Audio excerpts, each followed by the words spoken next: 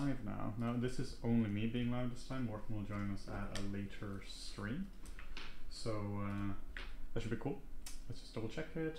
Just gonna find the actual stream so I can see your questions as well. Should probably have the microphone near my face as well to make it a little bit easier.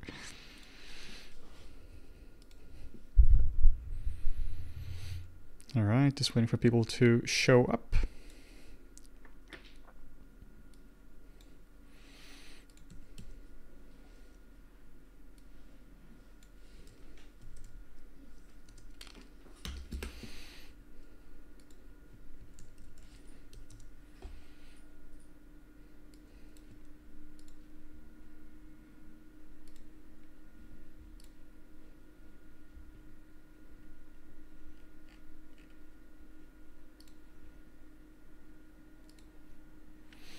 Hello, hello again. yeah, so Martin will join me later on. I'm just uh, going to just set up, uh, just going to share this to our social media so people can actually see the stream. And then I'm going to start this. I'm going to start a creature this time. This is going to be more uh, creature concepting, which is going to be a lot of fun. So we're looking forward to that.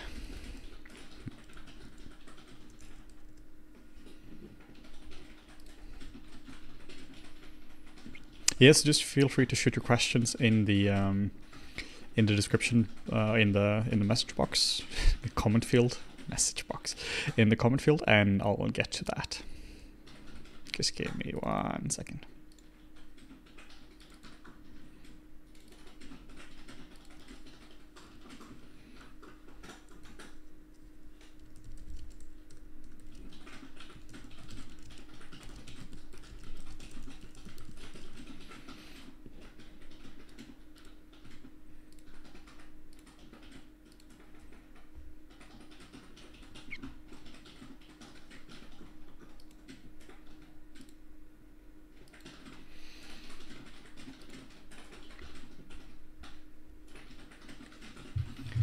All right.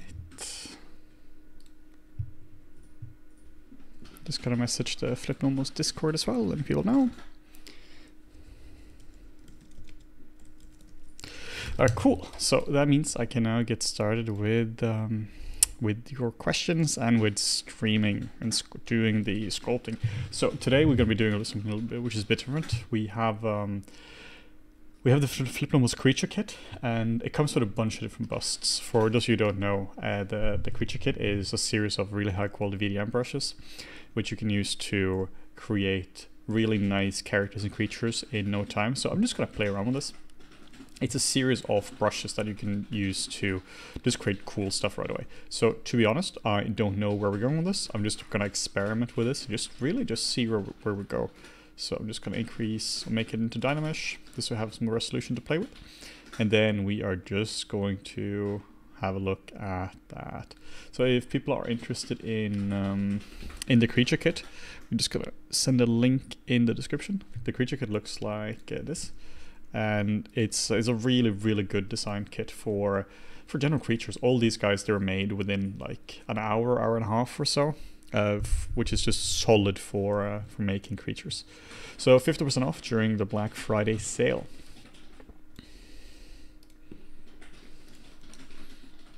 So just experimenting with an overall design. Maybe this guy is gonna have horns, maybe he's not. Let's just see where we end up with this guy. It's a lot harder when Morten isn't here because I can't really do uh, I can't really do uh, sculpting by myself. I can't really do questions and sculpting at the same time, so I just have to take the break. Yeah, Morten is gonna be he's gonna be sculpting later on today. We're gonna be doing two streams today because today is the Black Friday and um, we're doing a bit of a special thing today. So I'm sculpting now, just a fresh new creature. and Morten's gonna continue his Mass Effect to do later on. So the cool thing is here, you can see that how quick it is to just come come up with some crazy ideas. Like I legit don't know where we're taking this guy now. Uh, we're just gonna experiment and see where we can take him. So um, just starting off with, uh, if I hit F key now, it, it's going to filter all them very deliberately that we put this in here. So we have, for instance, uh, here we're going to have some some cheekbones, I believe. We have some a little cheekbone here, so we can just add this here. So we can just experiment with this and see where it takes us. The advantage of this is that um, it's um, it's a much much faster way of sculpting. Just so that uh, we don't have to uh, we don't have to sculpt everything from scratch because honestly when you're designing you just want to get started with stuff you just want to get into the design uh, Blue Hedge is asking, how's Morten doing? Yeah, he's uh, he's doing fine. Uh, he just has a baby, so he just had to take care of of uh, of his uh, his daughter right now. So uh, he, he'll be joining us later on. Uh, Pinak is saying, I got your iKit yesterday, amazing. Yeah, thank you so much. Uh, that's a, that's a kit I use on everything as well.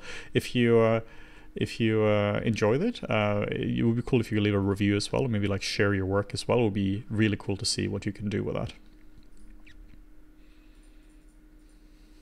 What's your approach to texturing characters you know will be covered in fur? Great question. You uh, you need to separate into like what is going to be shown and what's not going to be shown. And if it's if stuff is going to be shown, then you really have to just texture that like there's no fur. This would be like the area around the eye. It would be uh, general like hands or fingers and that kind of stuff. And if it is going to be covered, then you uh, then you can use the textures to uh, to generate the fur color. Though you just it depends on the hair system you're using as well. So figure out what the hair system is and test it out before you actually start the texture, because it's going to be quite quite different. Your way of texturing fur it might be quite different based on the actual uh, system you're using. So now we're just exper I'm just experimenting a bit with ears. I really like the goblin ear. It's one of these sculpting ears is really tricky. So uh, just by already having uh, the the creature kit here, uh, we can just drag it out and you can see what works. The advantage of this is that iteration becomes so much faster because it means you can you can do this, then you can just like move it over like so, then you can undo it and you can try a different ear and then you can just see what works, particularly doing client work. This is really useful because it it just means you can you can experiment with things. When it comes to designing, you really don't want to waste your time. I wouldn't even say waste your time, spend your time on the technical sculpting because you've already proven to yourself that you can sculpt if you actually get the job. So there's no reason to do to do, do to spend the time on that. You just want to come up with designs really fast. So it, it's a really cool way of doing that. So I'm just going to make sure that the there's a bit of overlap or not overlap between the ears and the horns. This way keep, keep it clean. So yeah, this this session here is going to be a bit more relaxing than the other ones we had, where Morten has been taking questions, or like yesterday where I took questions. So it's going to be a bit more, bit more informal like that. Well, you know, they're all quite informal. Just uh, more. It's going to be more sculpting for me this time, and less talking, hopefully, unless I'm talking about the sculpting. So just trying to come up with different things. Like, yeah, we have an ear, but uh, maybe let's just try out different ears. So uh, with the Smooth Stronger brush, I use Smooth Stronger a lot. You can find this under Lightbox and under Brush, and then you can find it under Smooth, and then just, it may or may not be here. Yeah, here it, here it is still, because I just moved it into the default one, so I just said B and SS, and then it's going to be replacing the default one. So let's try the Dragon Eye. So you just double click it, and then you can just get it here. The cool thing is you can really experiment with this. Also, um, a little announcement. Uh, we've been we probably talking about this on social media, but I'm working on a kit for similar to the creature kit, just specifically for the the face, like human faces, so you can make human faces really fast. So uh, it's not ready to be shown off yet as an actual demo, but it just focuses on more realistic human face measures, eyes, ears, noses, and all that, without going into the creature. What's the what plugin is he using? So I'm not really using a plugin, uh, but I am using a, product called. Uh, let's see if I where I put it. I'm using a product called the FlippedNormals uh, Creature Kit, which you can find here. So it's just a series of, of brushes that we sculpted. Well, not series of brushes, a series of VDM brushes specifically. So let's see here. We can use the, I want the noses one which I believe I copied all this over earlier, fur, horns, mouth, nose, there we go. So it tons of noses as well.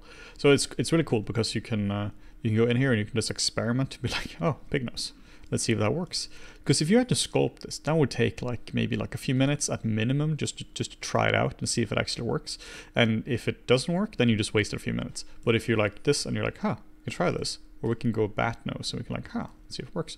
You do skull and I can just truly experiment with this, which is I'm loving this. I'm, I'm having so much fun with with this kit. So if I want to just sculpt something freestyle, then I'll, I'll just you know sculpt something completely from scratch from a sphere. But if I want to have fun with character design, then um, then we're uh, then we're I, I just use this kit. yeah, Morten is saying he's stuck in traffic. Yeah, uh, Morten's gonna join us in a separate stream later on. And hopefully I'm not gonna have like cardiac arrest from uh, streaming too much today, which will be excellent. So let's try this one. We can try Old Sad. And then trying this out like so. Try Wide Smile. Looks quite cool. We can see, uh, I'm not sure how creature-like I'm gonna go. I might go quite creaturey for this guy. Uh, let's just move this up a little bit, like so. To see what this looks like, so I can try like a bit more of an extreme mouth this time. Let's see, the mouth was here. Okay, I'm just, just gonna make this the mouth area larger so I can fit the mouth.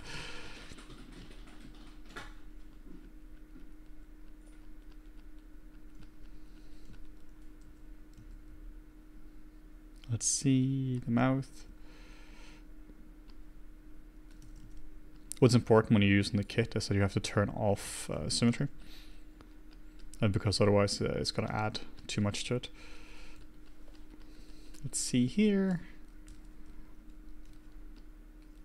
Not liking this. I think I'll go with something else.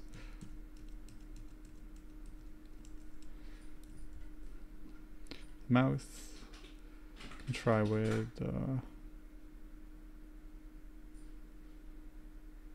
let's try this one.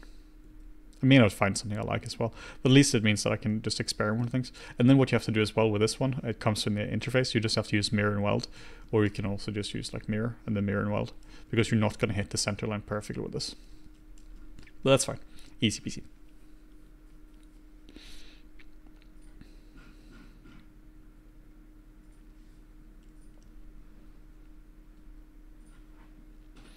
I was just browsing the FlippedNormals site to see if there was a human skin kit of a human face kit when you mentioned it's in the works. Yeah, so we have a we have one for skin already at least. So uh, for like it's called FlippedNormals' face kit, which is for human skin. It's basically like the the the creature kit or the sorry the uh, the skin kit for uh, for alphas for fa human faces, which is really cool. But um, for yeah for specifically creating VDM brushes for the face, we uh, we're working on that. No idea when that's out it's like getting to an okay state right now. Now we just have to do some cleanup, add some additional ones, and then make a lot of really cool sculpts for marketing purposes as well. Can just play around with this, see what works. I also have a lot more different ones here as well, so we can just experiment with some of these. There are some cool abstract shapes as well some of these can look quite cool. Like it might be good to like break up the back of the head or something, or to give him some kind of shapes like this.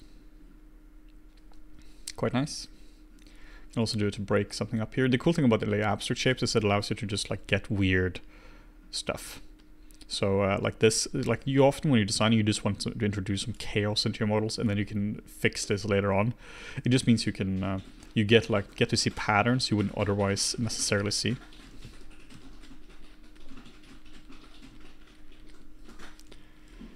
So just experimenting with this. Mario Morales is saying, I got Ben's course, face kit, anatomy bust, and some other anatomy references yesterday. Thanks all for the hard work. Awesome. Yeah, that, those are really solid resources, and I think you're going to have uh, a lot of fun with those. One thing that actually does help us a ton is if you do get some uh, some of our courses and, and you enjoy them, is if you leave a review afterwards. You know, not like you leave an honest review uh, this really just helps people to to get to know the different courses or the different resources and such because it's really hard for people to know just from the images but if there are resources that helps just a ton. All right this is one character. Let's see if we can try something else. The cool thing is that like i said before you can spend like a few minutes on one character and you can just see if it works or not. If it doesn't work that's fine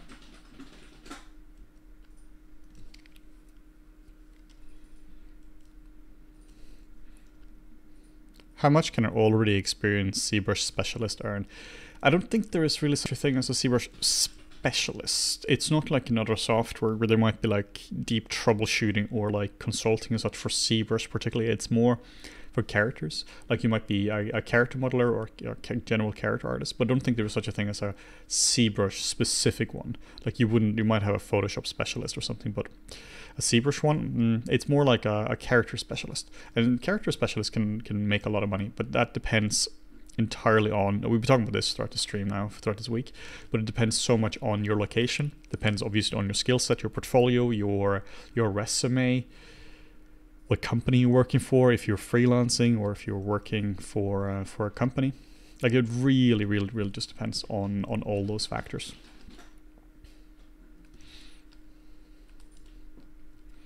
just experimenting here trying to use different uh, different uh, tools than before or different uh, uh, VDM brushes than before. Yeah, like uh, Lars is saying, uh, Jotun, salary is also going to be hugely area dependent. Like no, no doubt about that. Uh, the location is probably one of the biggest factors in your in your salary. Meaning that somebody who's like at like a um like a junior salary in uh, in in New York or Los Angeles is gonna make probably significantly more money than somebody who's at a senior salary in like uh, Bangalore or something like that. Like location, just the salary is just very completely by location.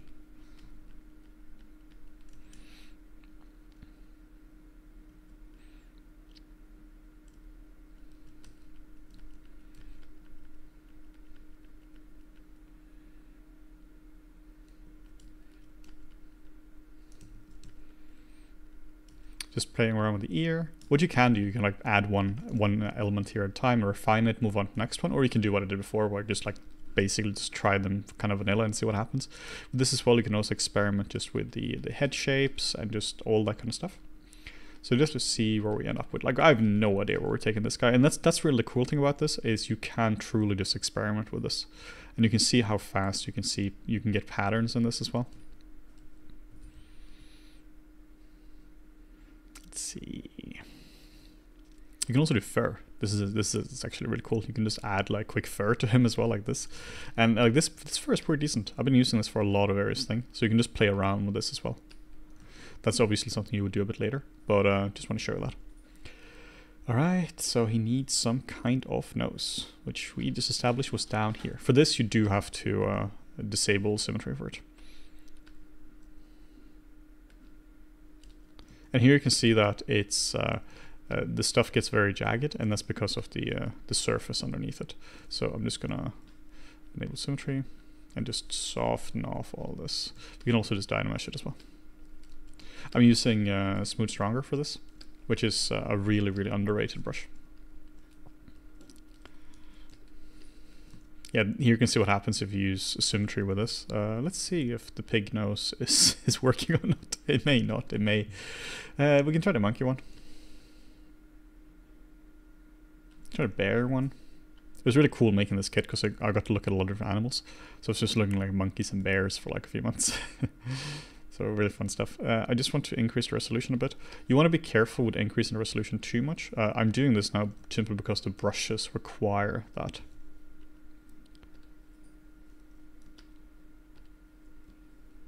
Okay, and then we'll go down here and we're just gonna pick the noses again. And we're gonna try the bear one. I like the bear one.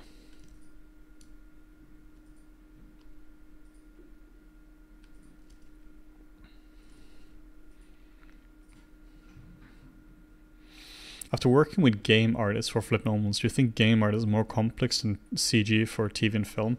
No, I don't think it's more complex. I think I think both are insanely complex when you when you start to get into it, and they have very different challenges. In uh, film, you're really trying to hit like a photorealistic mark, while in games you're trying to also hit that, but at the same time trying to make something run really fast as well.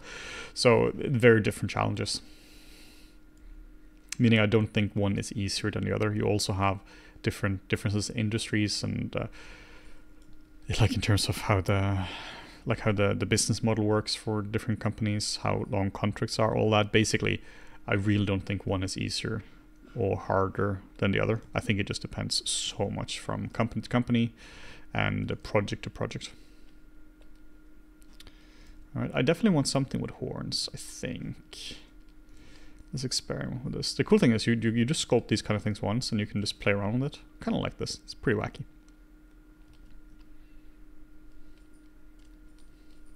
And yeah, just make sure to remember to check out Flip FlippedNormals. 50% uh, off nearly all products. Uh, we have our Black Friday sale ongoing, and since today is Black Friday, we're really, we're really eager to see. Uh, we really hope that people will check out the products as well.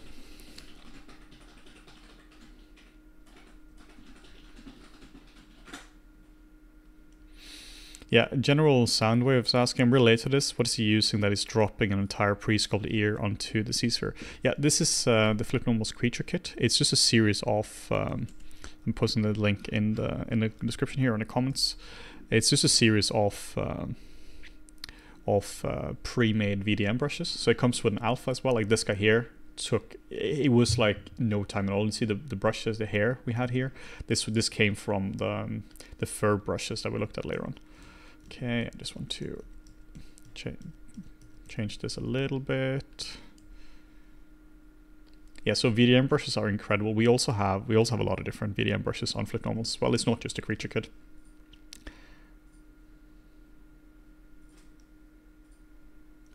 Maybe it's cute with like a small one or something.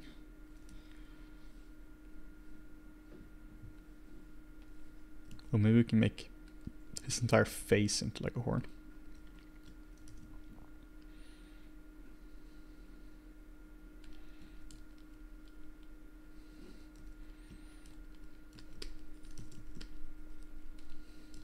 Let's try this. Let's try to make his entire face into a horn. That could be quite cool. For this, I definitely need to have a new tool like this, and I need more resolution. I'm just gonna smooth this out. And then I need to disable symmetry for this as well. And then let's try to do something cool like this. Yeah, let's do this. Very Pacific Rimy at this point, but that's that's that's fine. Let's see.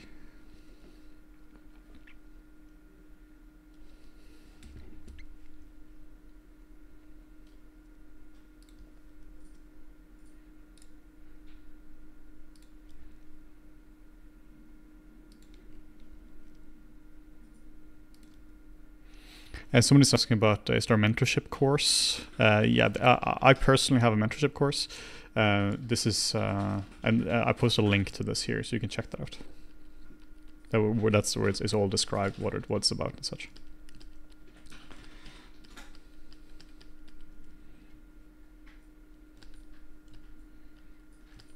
Yeah, Morten is saying, I know it's our kit, but it still amazes me how quick it is to concept out different characters. Yeah, I mean, same. Uh, this is a. I'm, I'm still amazed by how quickly you can block things out like that. Like how quickly you can just come out with concepts. Even like you could, of course, just snake hook this, but there's so much specificity in it, and like the barrier for for actually doing uh, like something completely crazy is so much lower because like obviously what I'm doing now is is not like fantastic good concepting in the sense that it's pretty rough. But like in a few minutes, I've been able to just like play around with these ones uh, to the point that this is if you're working with a uh, uh if you're working in some kind of design environment, it means you can play around with this and you can get these to this level really fast and you can just take it into Photoshop, paint over it, or you can just continue to iterate on top of it. It just means that you can get to to a design really, really, really fast.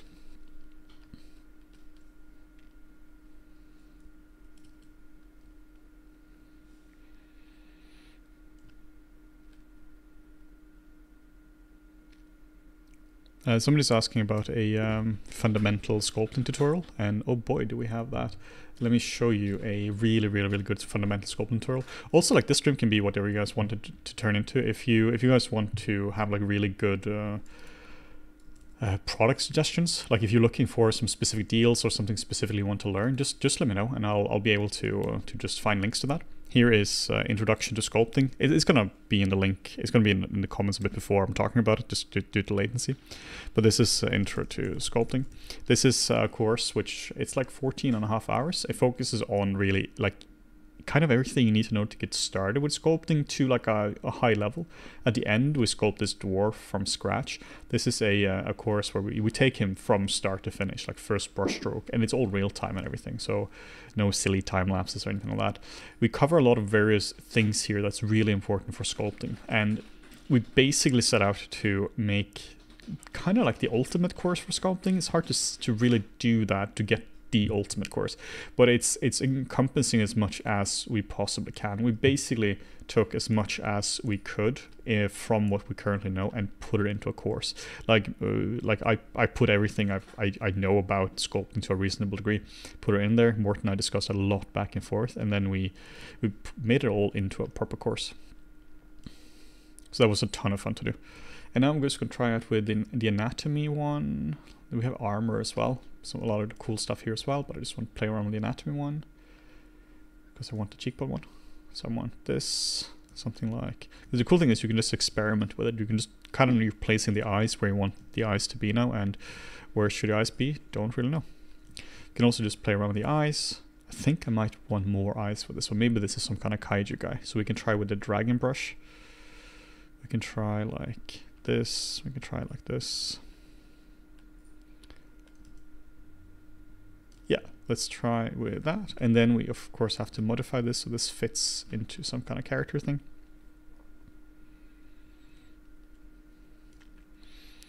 CGK is uh, saying Intro to Sculpting is an amazing, amazing course. Thank you so much. I really appreciate that. Uh, like I said, Morten and I, we really put a lot of heart and soul into into building that course. It's uh, I, I really I, I really don't know a whole lot more than what's in that course. The uh, what's in what's in that course is is focusing on basically most of the things I, I know. Of course, I learned some more things since that course, and you can't take away the years of practice as well. But from like a pure, uh, like it, it, we really put down everything there. But I want to make another course as well in the future at some point called like Introduction to Anatomy, just focusing on kind of like a continuation of that, where it's intro to sculpting is really general, where it focuses on a lot of abstract concepts like appeal and gesture and mid-frequency, uh, basics versus fundamentals, all that. Basically, it gives you like a structured path for how you can how you can learn. But intro to anatomy would be more specific. Let's try this. Let's see if we can put a shark mouth in this guy. We can. that looks better. So what you can see here as well, this little tip for you. You see I have activate symmetry down here, and if I hover over it, I have shift and X. Just a little tip for you, that it's probably a good idea to do something like that. The reason is that uh, you see the X key is very close to the Alt key.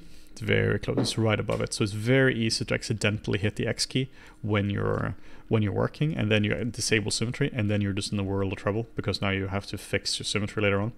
That's so annoying. I also have a mirror here, so I can like, if I, if I were to do something, I can like mirror it around, or I can just mirror and weld as well.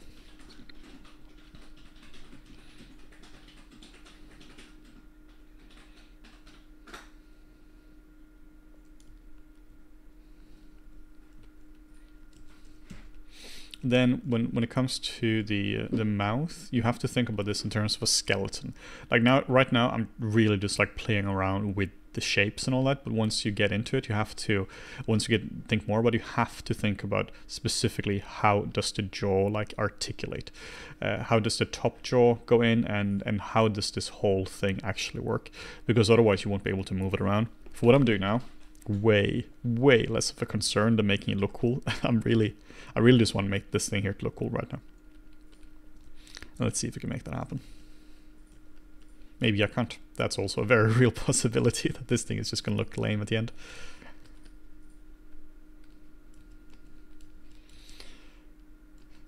alright, maybe I can make some ears for this guy as well. Um, it's more of a kaiju kind of style character, but I have a little bit of an idea. My idea may be beyond terrible. Let's see. Let's try some cat ears.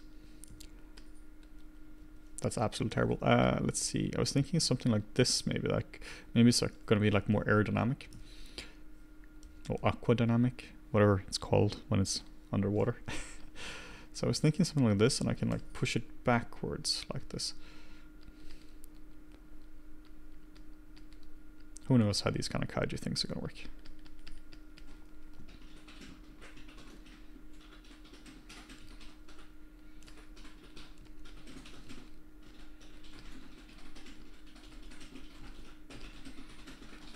What I'm also trying to avoid, I'm trying to avoid basically this kind of like Pac-Man feeling, meaning that I'm trying to, like currently it looks like if I were to take this and make this go straight over, it looks like it kind of articulates from here. So I have to make sure that he articulates from a more sensible spot.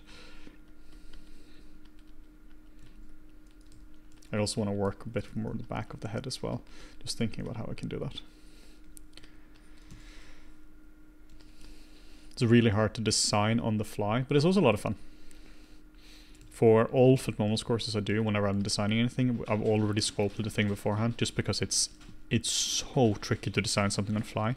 And for a stream, it's fine because now we're just playing around and just you know answering questions and such. But for uh, an actual tutorial, you you can't really like waste somebody's time who spent good money on a proper course. So if it's a design course, obviously you need to actually design something on a fly. But for like a pure sculpting course, we uh, I, I nearly always have uh, have the sculpt done beforehand.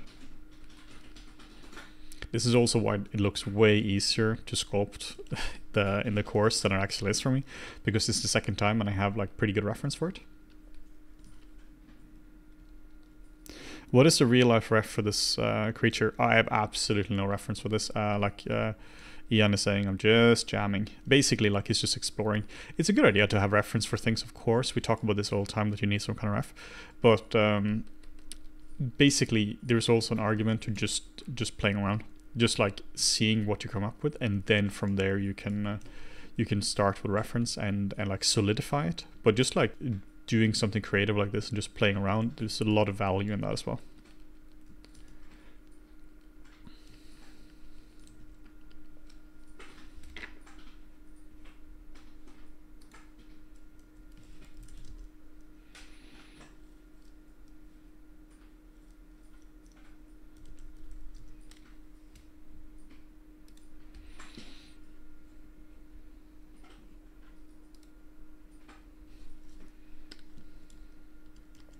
Yeah, so I'm, I'm very much subconsciously inspired by uh, by Knifehead from uh, Pacific Rim. I, I really, really, really enjoyed the the kaiju's from Pacific Rim One. That was like the the coolest thing. Like I was watching it when it came out, like 2013 in cinemas, and uh, at some point I was just like involuntarily clapping in the cinema. I just thought it was so cool.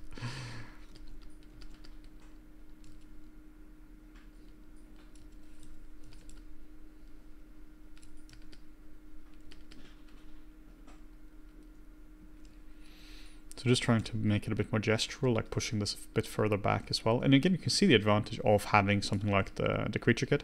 A lot of this now comes directly from the creature kit, in the sense of like the base mesh, the, the dagger thing here, the uh, the overall, uh, the ear, the weird cat ear, the eye, the mouth, all of it just comes from there. Of course, you could sculpt this fairly easily without this kind of ref, but um, or without these, these kind of VDM brushes, but it just made it a lot easier.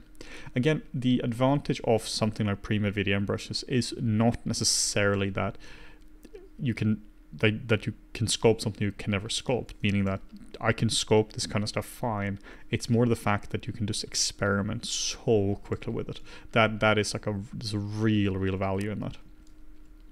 Also because you we're very pattern seeking uh, animals, and we just tend to. We just tend to uh, go for the same patterns over and over and over again, and having some brushes like this can really break it down, or can break up the the patterns we, we keep seeing.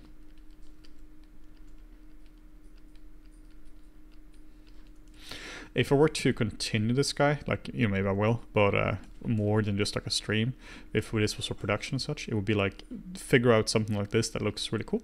And then I would try to find animals or creatures that would would look similar to what this guy looks like in terms of uh, like anatomy. I have no idea what that would be, but maybe for this it would actually be like a knife or something, just to have some cool reference there. And for uh, and for the the eyes so we'll try to find an animal that's similar just so you have some real reference. Also like in terms of a production you need some kind of real world reference because because uh, otherwise it's really hard to uh, to have discussions about it. Then the feedback notes are just gonna be all over the place. But if you have a common reference then at least it becomes much easier. What i'm trying to do now is i'm trying to make everything a bit more cohesive in terms of uh, making sure that everything just fits a little bit more together Uh, Sudir is asking, no Morten today. Yes, there will be Morten today, just not uh, right now. there's a temporary Morten shortage in Denmark, and uh, that shortage will be rectified in a few hours. Uh, I'm going to do the stream entirely by myself, but uh, Morten is going to join in a second stream later on because we're doing a lot of streaming today. Uh, randomly doodles is asking do you think it's best to learn to model something yourself and then use vdms for the same thing after almost like a reward yeah you, the thing is you need to you need to learn how to model not necessarily like this kind of design from scratch but you need to be able to to sculpt things from scratch meaning that if you if you rely on vdm brushes then what if you're being asked to model something and you don't have vdm brushes then you're in trouble so uh, i highly recommend that you that you learn the fundamentals of it. You learn what an eye looks like. You learn the basics of anatomy. Essentially, this is a shortcut, and use shortcuts. And if you uh, once you know the real path to go somewhere, because uh, so often you just need to do it like the real way as well. Yeah, somebody's saying I see a sawfish with a sheep head. Yeah, excellent. That's that's a good way of looking at it. Like that that could that could be a good eh, way to get proper reference for this for sure.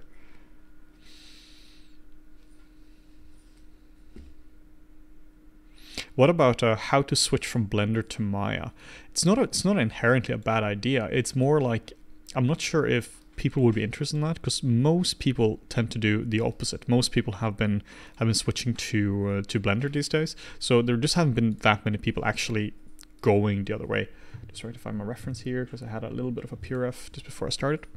So if if people are interested in that, that'd be cool. But uh, currently, I don't think there is a big market in in in that. To be perfectly honest. So now I've found a reference of like uh, of like a kaiju, so I'm just gonna see what I can do with that.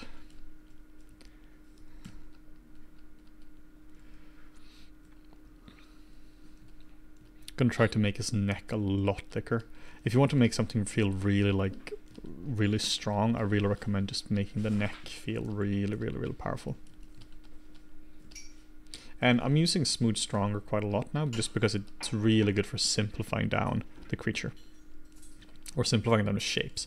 Like down here we have a lot of uh, general like brush strokes and such, and which might help to inform some general decisions, but uh, or like you might see patterns this way, but uh, it's it's a good idea to to just be in control of the shapes. And there was a question yesterday actually, which we didn't get to, which was, is it a good idea to to smooth after every single stroke, or is it a best a good idea not to? I recommend, particularly if you're new to sculpting, that you don't use a smooth brush at all. Actually, just try to do it as a challenge just with the uh, the clay buildup brush because this is going to force you to really have st strong brush control and then you can go in and you can uh, you can you can of course introduce the smooth brush and such because it's, it's very easy to use that as a crutch so that you're always trying to just um, use the the smooth brush you sculpt smooth sculpt smooth though it's not objectively bad to do it right like it's uh, many really really strong artists are doing that so it, it's all it's all just whatever whatever you prefer. But I definitely recommend playing around with not using smoothing at all. Like I can sculpt the whole the whole creature basically no matter what it is only with uh, clay buildup.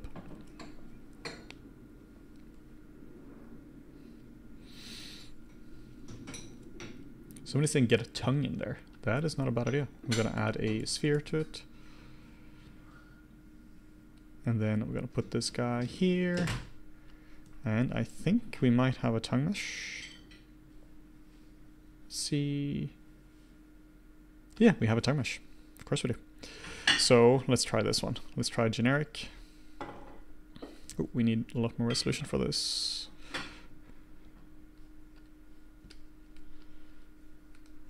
Yeah, it's pretty cool. pretty large tongue. So we can just put this guy in here. I'm just going to go in and uh, carve in this a little bit. Just carve it in like so.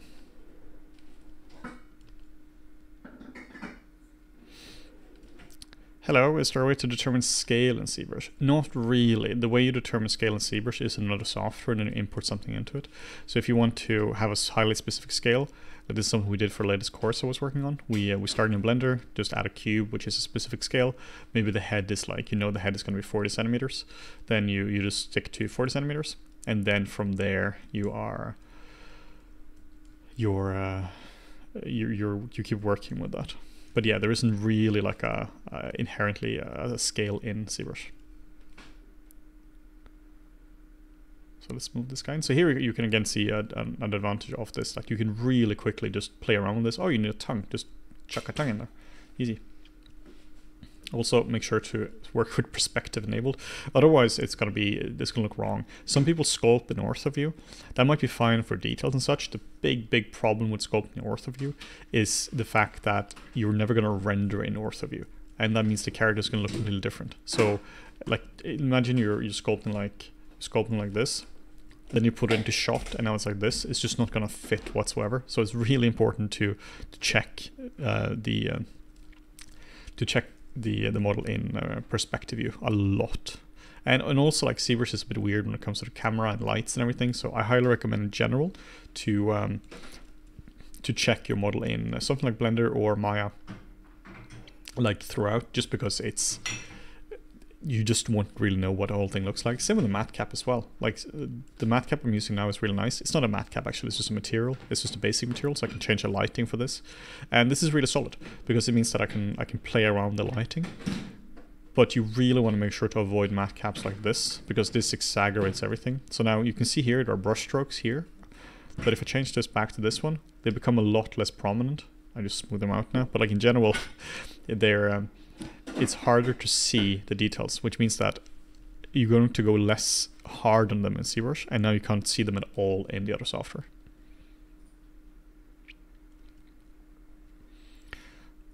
Now Win is saying, your channel helped me a lot about technique. Thank you so much. Uh, that's awesome to hear. I'm trying to make this a bit like more daggery now, so I'm trying to change the basically like the the silhouette view or the cutout view more like this instead of like this, trying to make it a bit like stronger.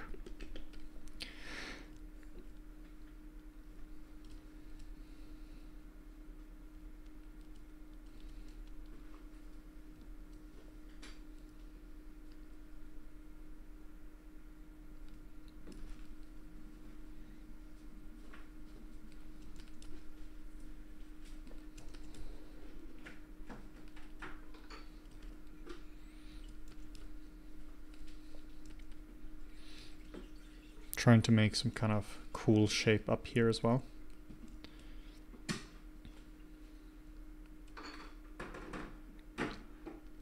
Yeah, Mike is saying that ZBrush has a pretty big problem with enhancing details. Even the basic material, everything is so much more crisp than proper renders. So yeah, no, for sure, it's it's just an it's just an issue in general.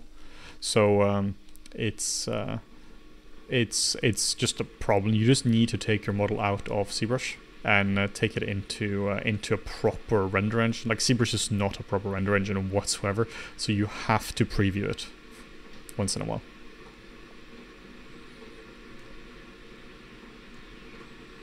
Just playing around with some anatomy here. Well, not even anatomy, just some weird shapes. Just seeing what works or not. Uh, I had some cat ears, don't like them whatsoever, uh, so I'm just gonna cut them off. The way you can do that is you can hold down Control, Shift, and right mouse button, like so and then you can go to uh, uh, select knife rect like so. You can just cut stuff off like so. My god this works with symmetry now. This never used to work with symmetry. I'm just going to show you the mirror trick. Yeah cool. Awesome. I did not know that. Fantastic. Cool. So uh, pro tip the uh, the knife brushes now work with symmetry. The more you know. Always some like weird little updates in ZBrush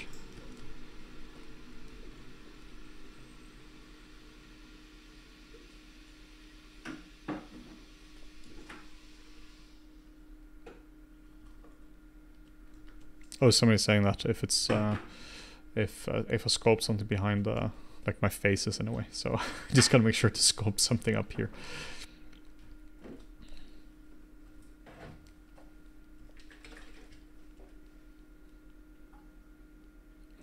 Tips for nailing down likeness. Yes. So let's talk about that real quick. Quick lecture. Uh, when, when, you, when you need to sculpt something, there are two parts to it.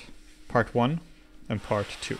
And part one is when you are trying to make something feel like a natural looking character. This is like anatomy. This is where you, you need to feel grounded. No matter what, what, what it is you're doing, This just have to be solid. You need the bones to be in the right spot, the muscles to be in the correct spot. It doesn't matter if, if all the shapes are kinda in the right spot based on likeness, if the anatomy is not there. So anatomy will have to be there. So of course you can try likeness right away, but likeness is uniquely hard because the anatomy will have to be hard. And then step two is design. And design in this case means getting specific shapes in a highly specific spot. And that's the tricky thing with likeness. That now you have to get the likeness of the specific person. Legit really hard to do. The tricky thing with this, if you is gathering gathering reference. If you were to have uh, perfect reference, meaning like a scan you can project it, easy peasy. Then you just kind of project the thing on top and it's fine. The problem is you have to find reference and the reference you're finding is not going to be good. You're going to have, most likely going to have actors that probably have some makeup on. There are, uh, uh, they're going to look different in different um, different shots because there are different ages, different focal lengths of the camera, and there's no way you're ever going to know what focal length they're using because that stuff is not public. Like, why would uh, some kind of uh, celebrity uh, paparazzi publish what focal length they're using. You, you just don't basically know anything about the, the camera you're using. So it's really, really hard. Uh, some tips for it is to line cameras up in uh, Maya or Blender and then like try to just, just like look through the cameras uh, and then like just just be very very attentive to details you have to line them up you cannot if you're doing likeness you, you cannot in any way just kind of look at your reference and then uh, and then try to sculpt it. You need to line it up. And this is one of the tedious things about it, that you need to actually line things up because the tiniest detail or tiniest change of proportion detail can make it look different.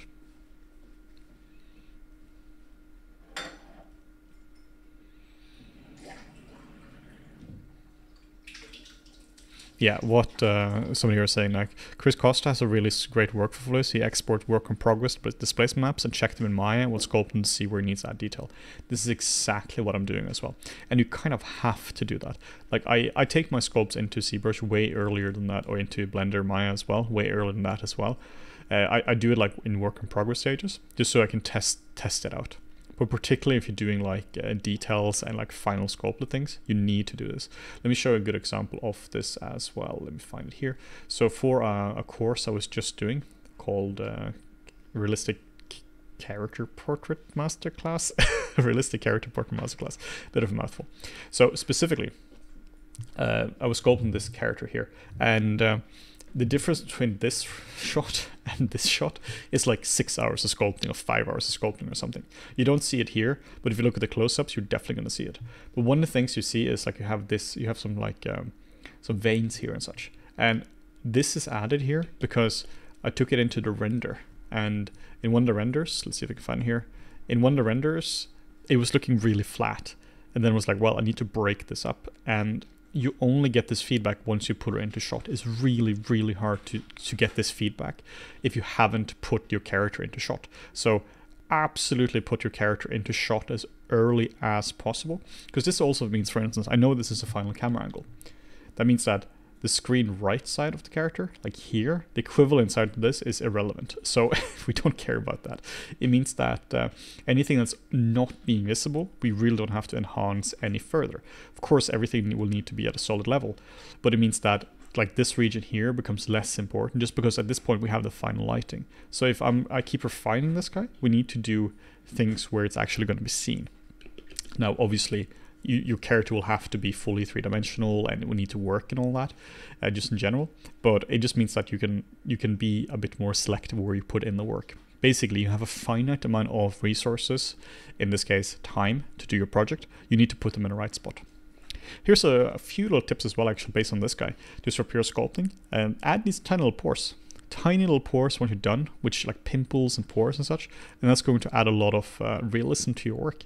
What I did as well for this course is that in ZBrush, I painted a polypainter mask, very similar to what I'm doing now actually, just, you know, with the, not with pink, but I painted with, with white, or I made a whole thing white and I painted with black just so I can mark them. Then I exported this uh, map out here to Painter, and then I continued to refine them in Painter, or rather I used them as a mask for a fill layer in Painter. And this allowed me to um, to get, let's see if I have texture map here, uh, let's see here it allowed me to get these ones and that's what you can see these are uh, this is just a mask from uh, from ZBrush just sculpted on top and it really just adds a lot of it and this means that these ones here are perfectly correlated with the um, the actual uh, details in uh, in ZBrush so it means that they're just going to have a lot more dimensionality to it the second tip I want to talk about here is the fact that when it comes to sculpting like a character like this try to sculpt it as closely as it would be in real life. Obviously, this is more of a fantasy character, but if this was a human, like notice like the ears and such, try to make them thin. Try to make all this as volumetric as you can. For instance, if you were to make the ears impossibly thick, which is a really big beginner mistake, like you just make them go in like so. Big problem with that is that the subsurface is going to be crazy and you're going to have to overcompensate for that in subsurface. Also, I'm just going to leave a link to this in the description as well, uh, or in the chat. This is this is course as well. It's also 21 hours long, and it covers everything on how to make this course from scratch. But yeah, uh, I'm talking a bit more about this course specifically just because of um, like it's so fresh and there's a lot of knowledge in like I have a lot of knowledge based on this course. So if you guys have questions about characters like this, feel free to just uh, just ask. Or if you have any questions about any specific courses, and remember that all all the courses, all the FlippedNormals exclusives are 50% off during Black Friday. The sale lasts until Tuesday, and um, yeah, make sure to grab your uh, some if you've been eyeing some a course or resource or anything like that.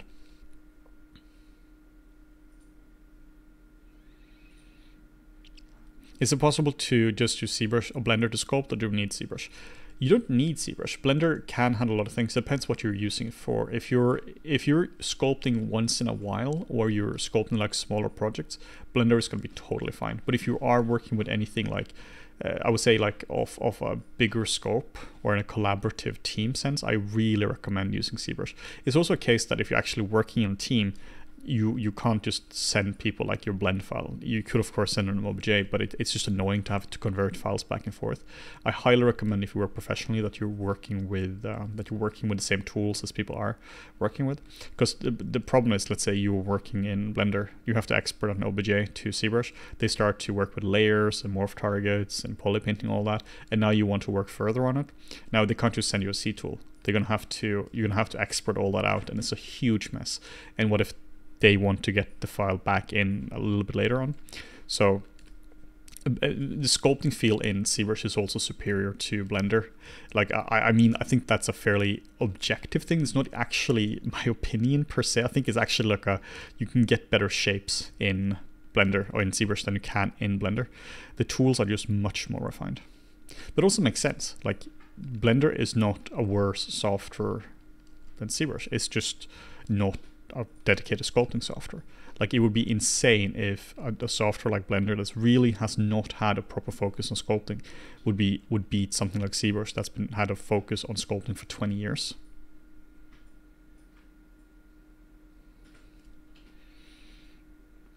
Is today the last um, last live stream? It is not. We're gonna keep sculpting over a little bit over the weekend, and then Monday, and uh, then Tuesday as well unless Morten and I burn out to a crisp, which may may happen. it's called, The streaming is quite intense. It's really fun, but it's also really draining as well.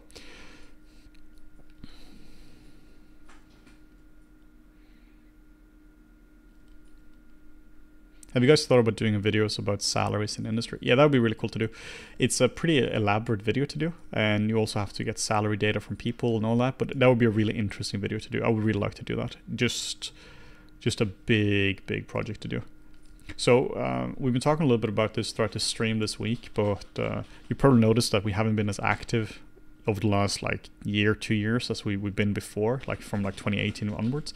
And the reason for that is is very simple. We we've been rebuilding the website and we are what they kindly refer to as development hell at the moment. It's been it's been really intense in terms of development in the site. We're not developers ourselves, so we've been outsourcing that, well hiring hired a team to do that for us and uh, it's just a massive, massive job for us. So uh, hopefully that that launches early next year, late this year. You know, not uh, much left of the year, and then we're gonna have a really cool website, which is we are very excited about. Uh, end end end of the day, what this means for you guys is just that we're gonna be able to produce a lot more content, more live streams, more cool products, all that kind of stuff.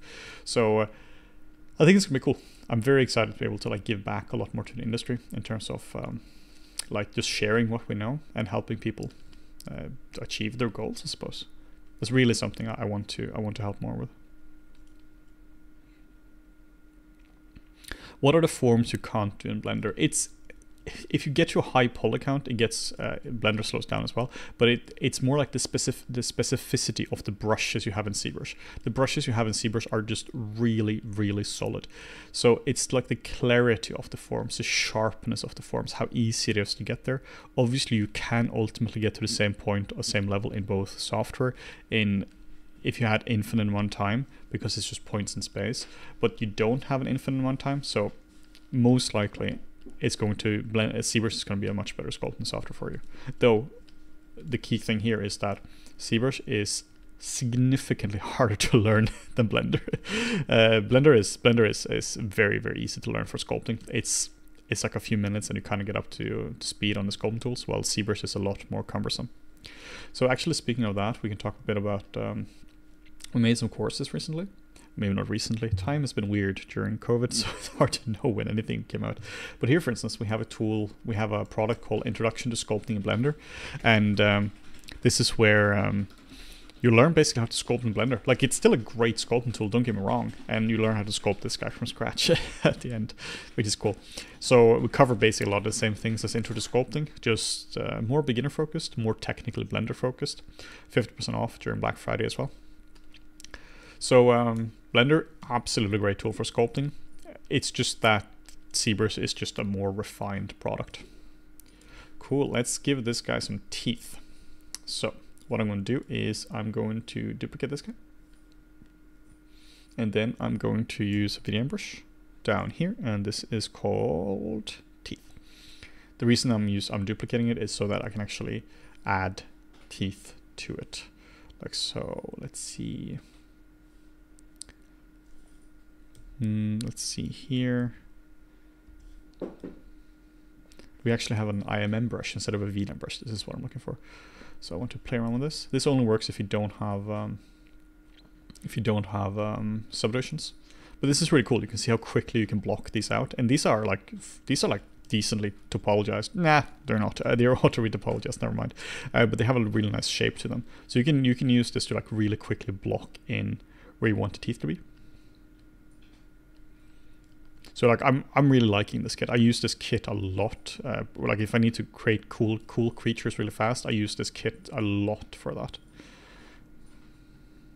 So I'm gonna get back to your questions in a second. I just have to concentrate a sec when I'm doing this. What I'm trying to do as well is I'm trying to make the the teeth have, have a different size to them.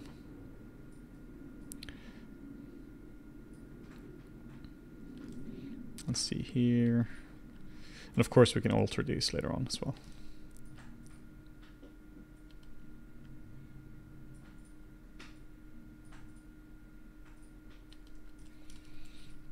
What you also have to think about is, can he close his mouth? that may not be possible with this. Not a huge concern in terms of pure functionality at this point. So already you can see how much scarier he looks just because he has teeth now. it's really important to do that. Alright, cool. I'm pretty happy with how this is looking. And then what I want to do is I want to actually just hide. I want to hide everything but this. Let's see hide this, hide this, make sure there's nothing else, and then delete hidden. And I have delete hidden right... Where's delete hidden? Here's delete hidden. That means that I now have teeth. Cannot spell today, but that will just be a problem for people who want to read this. And now we have teeth. So really nice and easy.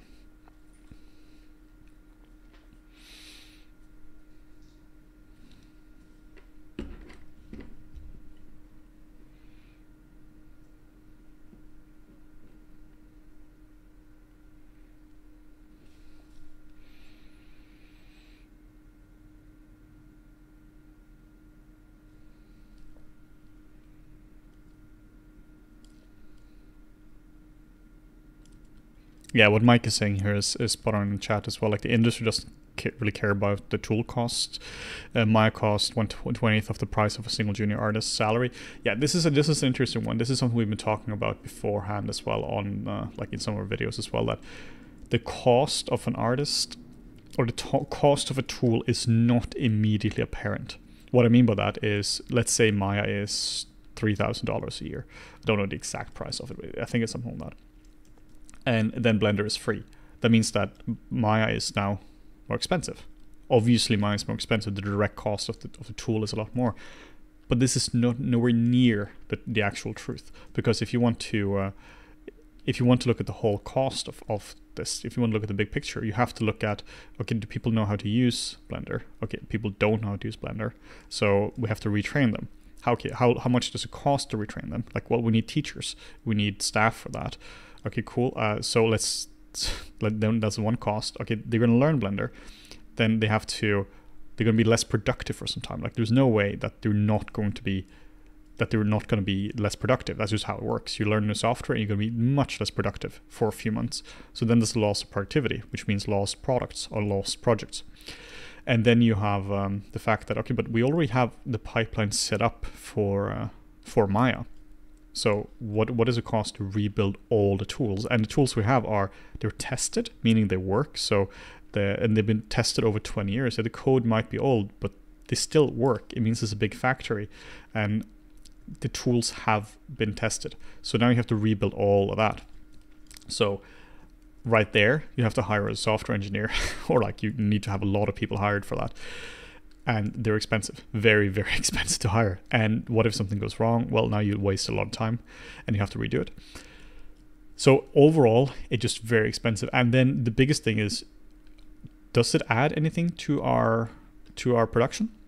When we, if we were to switch to a free tool, quote unquote free tool, will we be able to produce more content than before in a case of uh, blender versus maya like th- there's nothing new in blender that you can't do in maya like it might it's rather the opposite in terms of a pure production tool maya is, is a far more refined tool there are some things you can do only in blender sure like grease pencil is obviously a much better tool than what you have the equivalent you have in maya but then just add that to your production don't change the whole thing out basically the cost of a tool is not immediately obvious. So if somebody is just like, oh, you should switch to Blender because it's free. No, it, it's really, really, really, really not free. It, it has no cost to get the software, but that does not mean that is free. And just the fact that stuff has been tested in Maya, it means that if you if you switch to Blender, you have this whole like mystery thing that you generally don't know if something is gonna work or not uh, until you properly tested it. Let's say you have an animation, you want to export out the animation to render in Houdini or something, then you in in Maya that the tools are developed, you click a button and the animation is is cached out in Alembic or USD or whatever you're using these days, and then you can now just pick it up. But in Blender, this may not work. Maybe it does, but you haven't tested it. And then, so you have to test every single thing over and over and over again. And if it doesn't work, you have to build custom tools. Or you could just stick to what you have.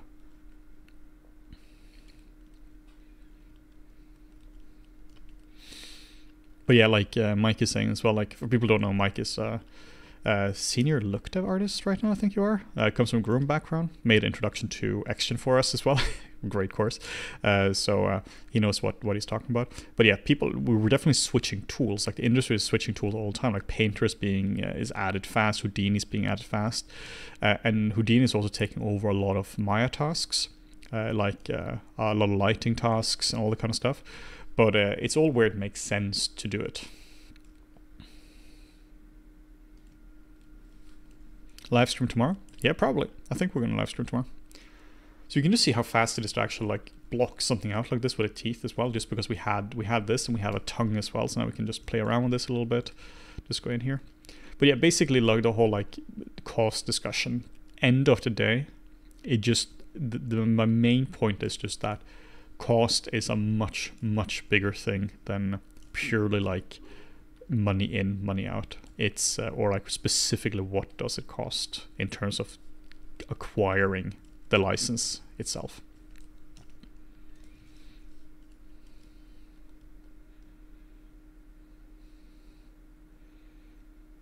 Yeah, Houdini is being uh, is being used a lot these days, and it's being used more and more and more. Like if I was still in production, I would have been I would have been learning Houdini as fast as I could right now. I've not really seen a Houdini artist who's been unemployed. that tends to not really happen. I see. Is is a very versatile tool. So uh, a lot of people are replacing uh, like a lot of very heavy tools with Houdini. Uh, animation, rigging, still very much being done in, in Maya. Modeling can really kind of be done anywhere. But um, Houdini is taking over a lot of things, like obviously effects. It's not really taking over effects, like it's just what you use for effects these days. I know back in the day, the, the different studios, they had their own custom tools for that, but most of that is just being taken over.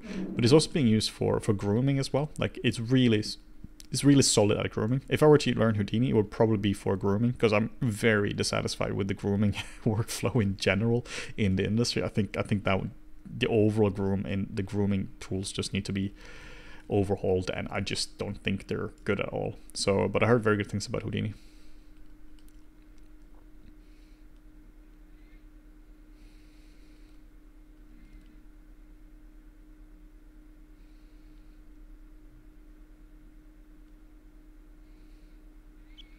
How and at what point of the character process should I make the inside of the mouth for especially for creatures, not humans that are pre-made. So for this, I'm thinking about it pretty early because this character here is going to move, open his mouth quite a lot. So in that case, it's really important that he can actually open his mouth. So I'm like early, early on, if people were here early in the stream, you saw like I was thinking, talking about how he would articulate his mouth. It's really important to think about this. Like specifically, what does the mouth look like in this case? And also you can see I have some muscles as well here.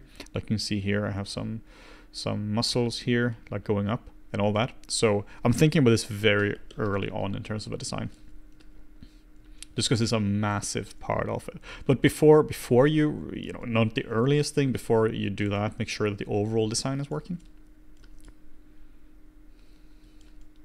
Yeah, Mike is saying groom tools are a nightmare, and and they just I think they just are a nightmare. Like for me, they're either they're either too simple, like the tools in uh, Blender 3.3, where you just can't really do everything you want to, or they're they're really heavy to use, or like they're really tricky to use uh, in terms of like XGen, we have to be so specific about it.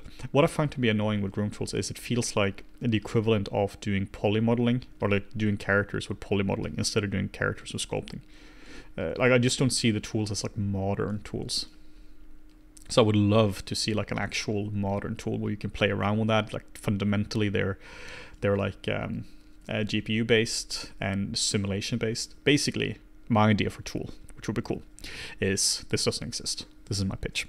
so you you basically go with a paintbrush and the paintbrush will just quickly go over a various area. Like so, let's say you want to give this guy hair right here. You you shouldn't go and set up a density map or whatever. You just go, you just click this tool and you just paint where you want to go. And you're like, this is now where the hair follicles will come from.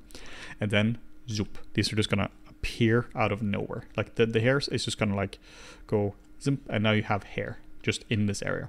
And now you can interactively control the, um, the density of this, just basically with a slider, just control density. You can use traditional hair tools like uh, like not grooming tools in CG, but like hairdressing tools. Fundamentally turning it into a hairdresser, where you like you have a um, you have a comb. You can just go over here. You have a, a hair dryer. You have all sorts of cool different things, and then you can have a uh, like scissors and such. You can just like cut stuff off, cut stuff here. You're like, okay, cool, we want to do this. And then you can simulate it. You can basically have some kind of, some kind of hand brush, which was just simulate a hand. You can just take it around and just play around with that. And and just make it easy. I don't understand why hair fundamentally can't be easy to work with. Hair is so instrumental to essentially all characters, even if you don't have a whole lot of hair at the moment, then uh, it's still instrumental in terms of like just little stubbles and facial hair and all sorts of things. So that's my pitch for a hair tool. Basically, due to hair what Marvelous Designer did to clothes, where it made it more fundamental in the sense that in Marvelous, you're not really a 3D artist, you're a tailor. In ZBrush, you're not a 3D artist, you're a sculptor. Uh, same thing as well, but if you're a, if you're working with uh, hair tools, you're a technician. you shouldn't have to be a technician, you should be a hairdresser. And I've heard people say against this this argument here that, oh, but now you have to become a hairdresser. No, but you still have to be a hairdresser. You still have to know the fundamentals of, of hair. It would just remove a lot of the technicalities. That was my little rant about hair. Absolute nightmare to work with.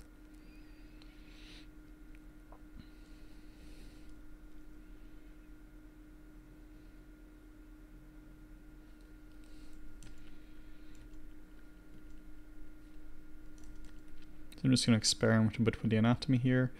Just like playing around a bit with it. Making a little bit wackier than just pure human anatomy.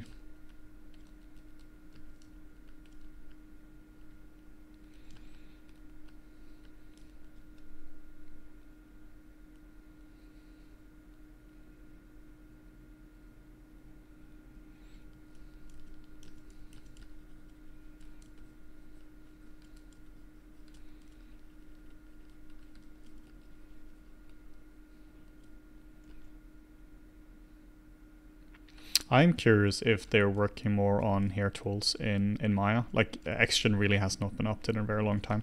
So, but I'm curious if they're actually working on something there, or if that is just like a a thing that's just not being developed anymore. If if hair is just dead in Maya, because it, it's a real shame because hair is is such an important thing.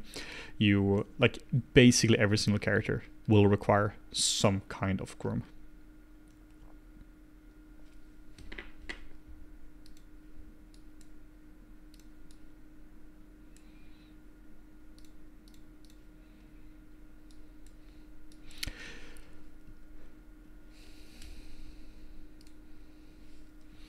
So just a reminder that we have 50% off on uh, all Fluid exclusive courses. Let's talk about the skin kit. Skin kit is currently the most popular product on the entire marketplace. This is made by Damien, fantastic artist. Uh, this is where you can just very quickly just drag and drop alphas onto your character and you just get really, really, really high quality alphas right away. Trying to find some of the examples of the alphas. Yeah, here we are.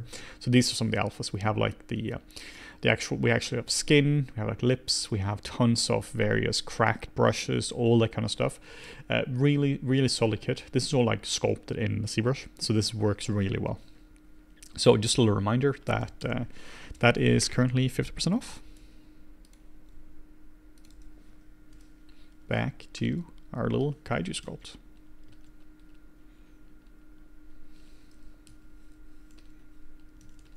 trying to add a bit of directionality to him this is where I'm going a little bit away from like just conventional human anatomy. It's still you know fundamentally based around human anatomy. I'm just just playing around with some shapes here.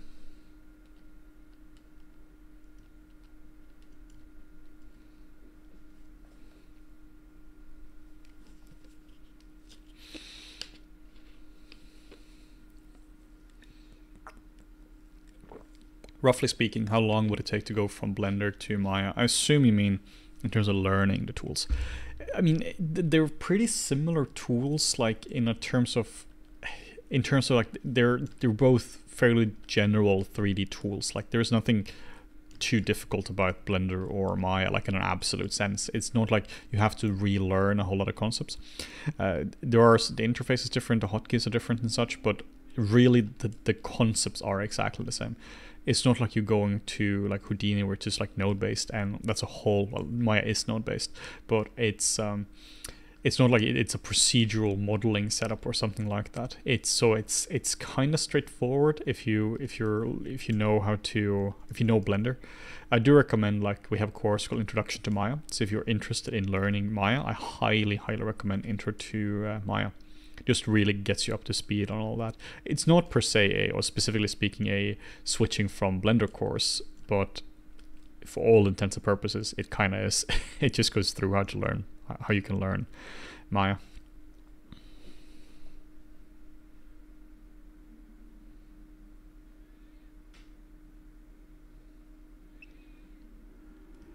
Does a new Ben Erdt course uh, cover hard surface sculpting?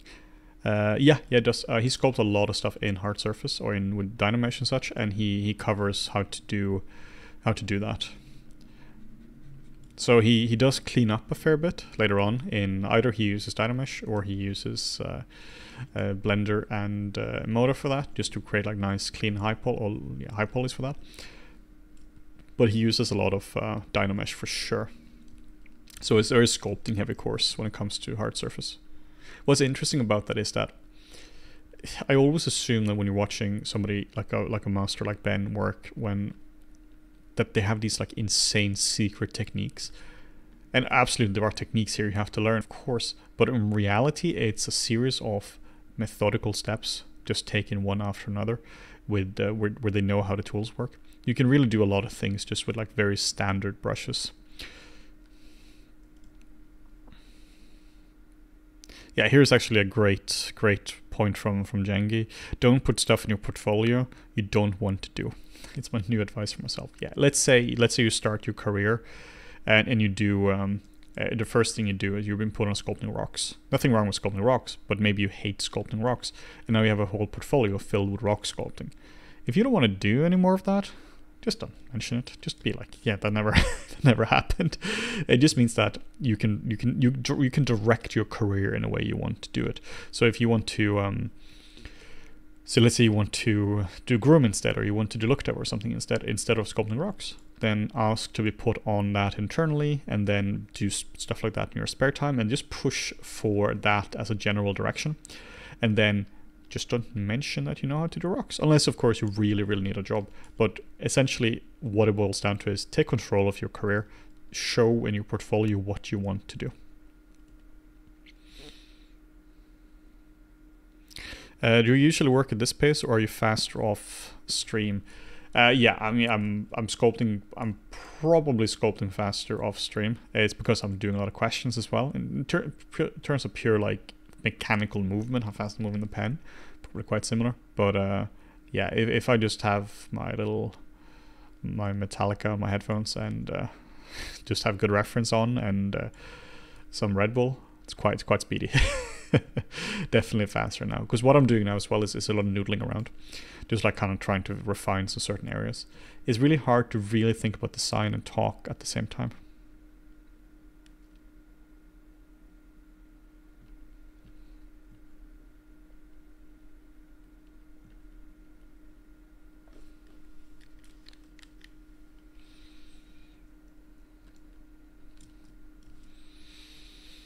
Yeah, kind of happy with how this guy is is turning out. Uh, enjoying the overall process of him.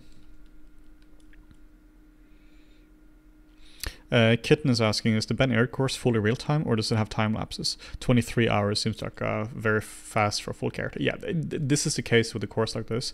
The course I released, the masterclass for the characters, that's a much smaller scope and that's uh, that's all real time. But it's not possible to do Ben's course in 23 hours however long it is. Uh, to do that all real time. So uh, Ben's course definitely has has some time lapses and it also has some some some jump cuts as well. Let's say your scope this this part here might be real time for the character, like getting to this point, but then the next five hours is just refinement that that stuff is just cut out and it just takes it to the next level. Basically, the course assumes that you already know how to sculpt characters to a fairly decent level and you understand the overall steps and such. Uh, like uh, the specific baking settings is not going to be used, but that's also not the point of that. The point is to like learn something like that. It would be like if if Tolkien was teaching at was teaching literature, he wouldn't he shouldn't teach you the specific grammar. He should teach you how to create the world of Tolkien. He shouldn't like, oh, what settings do you use in Word? Like, just the writing settings. You know, like it, you, it, it's more about like when you have somebody of that level, it's really more about their approach to things. How do they think about it instead of the highly technical things? All is to say, yes, there are some time lapses and some things are skipped because it's just not feasible to do it in a 20 something hour course and if the course was 70 hours long nobody would watch that long of a course and it would also be practically impossible to create for somebody who has a full-time job like ben has who works at blizzard What is the thing on your arm? I've had an injury due to too much sculpting. What is your best advice on topic? This is a sculpting glove. Uh, it's called. What is it called? Uh, can't actually find a name. Uh, it doesn't matter. It's not in production anymore. I've been trying to buy a new one. It's full of holes and it's nasty. but um, basically, you can just search for sculpting gloves. I think COVID killed off the company who did it. They just aren't able to to find uh, like the, the supply chain shut down, so they aren't able to actually produce more of them. So um, unfortunately, that's not possible. But I, I, need to have it because otherwise, uh, it's not on my hand is crazy sweaty, just just a tiny bit of sweat on your hand when you're sculpting. So uh, my hand just glides over the, the, the tablet much much easier now. So I, I need this, otherwise I get pain in my hands. General advice for avoiding pain in your hands whenever you're sculpting is first wear a glove, but then also take breaks. Go for walks and do that, and do stretches as well.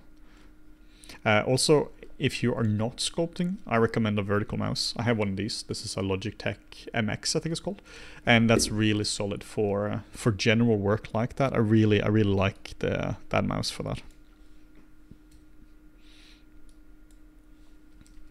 So jump back into this. So and I need to be able to see the chat.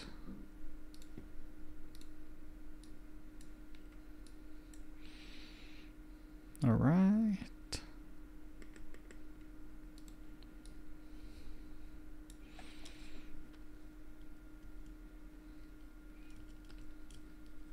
Yeah, so if anyone has any like cool companies, not cool companies, just companies that that makes really nice sculpting gloves, please let me know because I need I need something new.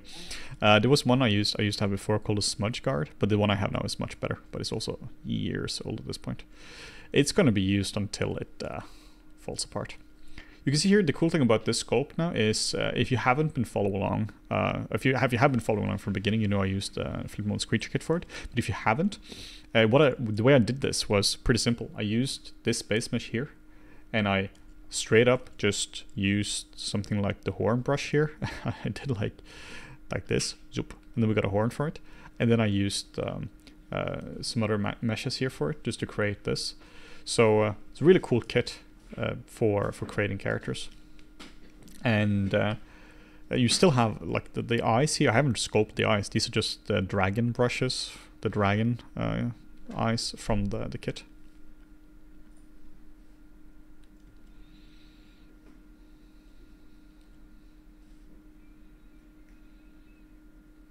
What are your thoughts on Houdini? Great question. Uh, if I was a student today, I would be doing everything in my power to get good at Houdini. I think it's like one of the most powerful software out there. You can do basically everything in it, and I think you're going to be like a force multiplier for your team if you know how to use Houdini. So uh, yeah, learn learn Houdini.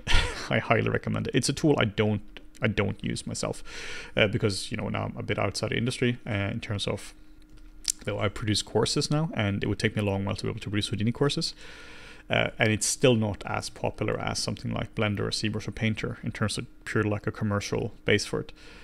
But um, Houdini, brilliant, brilliant piece of software.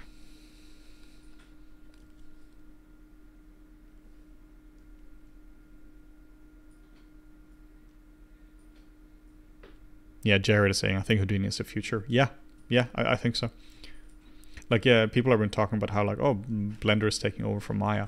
No maya is kind of going a little bit away in the industry but it's not going towards blender in terms of like at least not like film. It's it it's going towards houdini. You know you still wouldn't necessarily do modeling and such there but uh, you can but uh, it's just it's just a great overall tool because you can kind of do everything there. What do you think is worth learning more houdini or unreal depends what you want to do. If you want to be a uh, if you want to be a game artist, then absolutely Unreal. Uh, it's still useful to know Houdini if you're in games as well, for sure. But um, you know, if you're if you're a games artist, you need to know a game engine anyway. So uh, yeah, it really just depends on what you want to do. Both are are fantastic tools. Both like Houdini and Unreal, they're they're like kind of future tools. They look like good, modern, well-developed tools. Well, tools are Maya. Maya, Maya is for me is a tractor, and I and I don't mean that in a derogatory sense. I mean it in the sense that it's like a powerhouse, but it's also kind of slow. so, and it's not like yeah, it is an active development, but it at least from from the outside, it seems like development has slowed down a little bit. They, they're developing a lot of really hardcore features, though, like Bifrost and Arnold and all that. But it's hard to say exactly what's being updated. Well, it seems like um, Houdini is more in active development, though it's hard to say. Basically, when I see releases for, uh, when I see yearly releases of Maya, there aren't really that big changes, but when I see like release videos for Dini, there's always cool stuff coming out of those.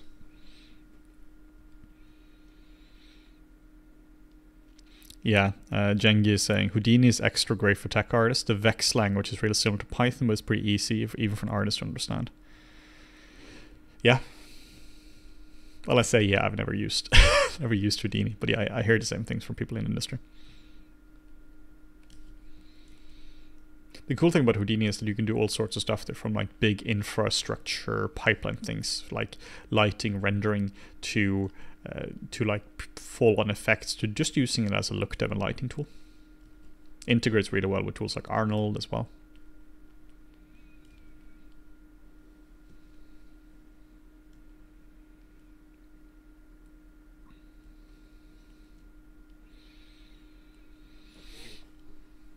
Alright, just need to take a second now to evaluate the design.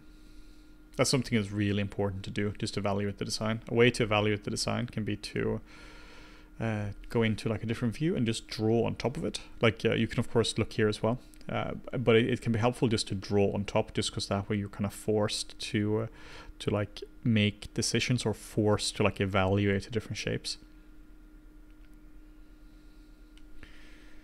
So let's see if there's something cool we can do.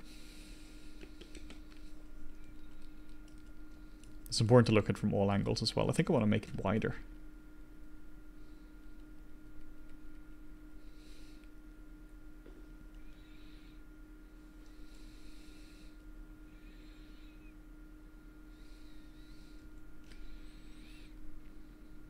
What effects do you think AI will have the industry? Great question. Short answer is literally no idea. The tools that are popping up now, they're such they're so so early in its uh, in its development. They're doing incredible things. We basically have no idea what's coming. Like with if you add like exponential growth to something like that, like what can like maybe the tool is going to revolutionize the industry. It comes out in like two years. Impossible to say. Great question.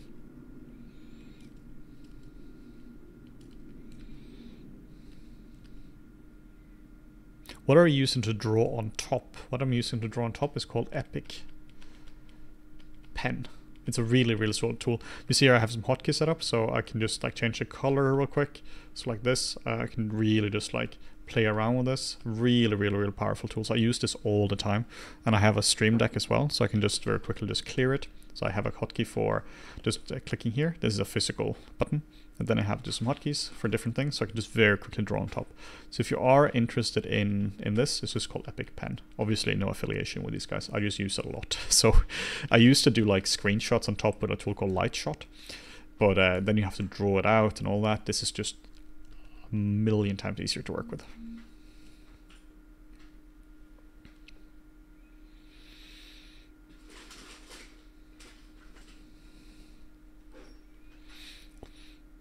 Uh, question by Mike Kant. If you want to get into character art, would you say ZBrush, Houdini, Marvelous Designer, Maya, Blender, Photoshop is way to go? Ooh, that's a bit of a mouthful. Um, if you want to get into character art, I recommend that you basically you you spend a lot of time on on sculpting, get good at sculpting, and then find a texture software you enjoy, because you need that as well, and then find a main 3D software you enjoy doing and fits with uh, the industry you want to work with and and then just spend a lot of time building characters. You can learn a lot of specific stuff in the industry, like specifically how does vertex ordering, reordering, all that kind of stuff works. But you need to get solid at sculpting, and I re really recommend getting solid texturing as well. Though that's obviously not needed. Like you could you could be 100% a modeler or 100% texture artist for for characters, but I really recommend get good at sculpting. Like that, for me, that's like the foundation for everything. But I wouldn't say that Houdini is essential for a character artist. It's it's it's a much much much better idea if you want to be a character artist. Get good at sculpting in ZBrush, and you can pick up Houdini later on. Meaning that somebody who's good at sculpting and doesn't know Houdini is going to have a much bigger chance at getting a texturing or getting a character artist job than somebody who is like okay-ish at sculpting, but no Houdini.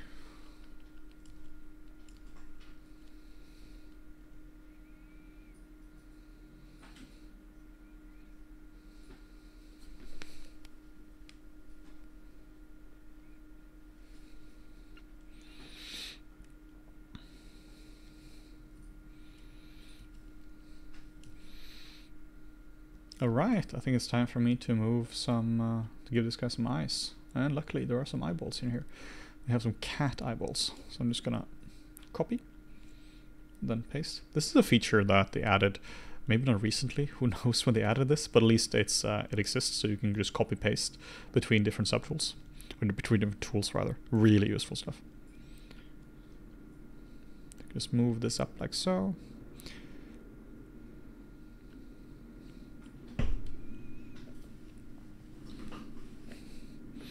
Any thought on Ziva Dynamics versus Houdini Muscle System?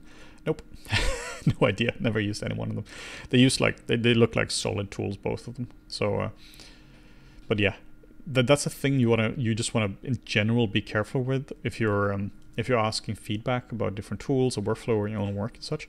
If you're asking people like me for uh, for uh, who you know has been a professional and, and knows general 3D, don't assume that everyone knows everything. It's very easy to assume that, oh, because you're working in the VFX industry or you work in games, that you know everything there is to know about that. That's just not the case. If I've never worked with Ziva, doesn't matter if you've been an MPC or DNA or anything like that. It's just, you just will not have, you just will not have any, any expertise in that. All this is to say, if you are interested in these kind of these kind of tools, uh, just uh, make sure to find somebody who uh, who knows how these tools are working and go and go with those people. For instance, if you want to learn grooming, talk to people like Mike who's in the chat here. Don't talk to people like me because he's gonna know he's gonna know that like a million times better than, than what I could ever do.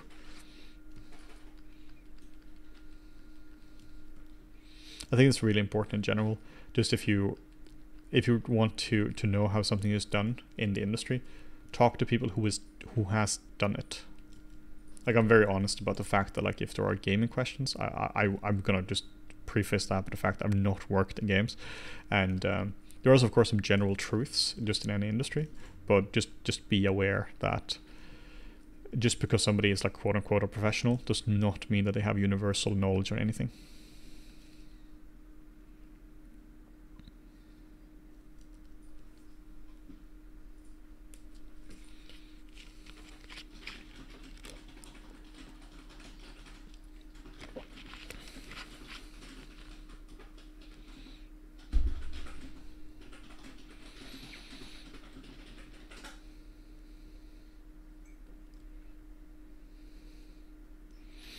How can you get around competing with badass students junior for jobs? As an older artist, I find studios prefer younger, cheaper artists. They have better tools and portfolios anyways. Yeah, it's a tricky one. That's an interesting question. I mean, if you can beat them on quality, then hopefully you should be good. but it's hard to say. It's a, it's a very open-ended question. I find that like the industry doesn't really discriminate against age but uh, it, it's I've seen people who's been in their forties who's starting who's starting the first job in the industry, and I've seen people who's been like seventeen who's doing the same thing. So it, it's really it's really about the portfolio. If you have a portfolio, you're gonna beat the pesky little juniors.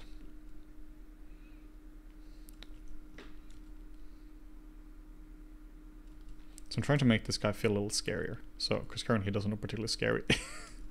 so I just really just want to do that. Maybe I can what I can do is I can I just want to add symmetry to this. I can like rotate one of these eyes around. Just so like he will he will blink like he will look like sideways or something. Yeah, I think that might actually work. You can just alt click on the middle one here, the Google Maps icon, and that's just gonna like move it move the pivot. Let's try this.